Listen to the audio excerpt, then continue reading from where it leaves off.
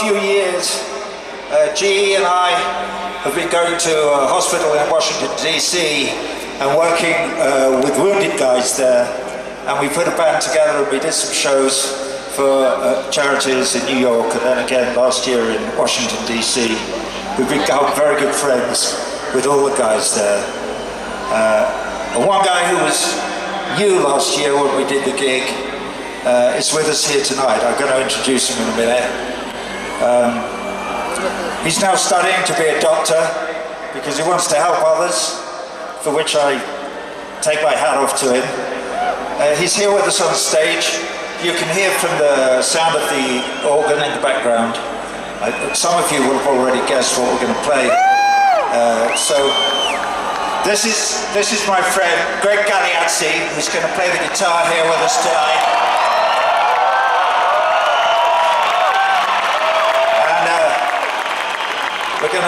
Dedicate this performance to all his brothers, and all your brothers, and all your sisters, and all your cousins and uncles. In fact, to everybody in the whole fucking world. This is for but especially for the original Crazy Dark for Syd.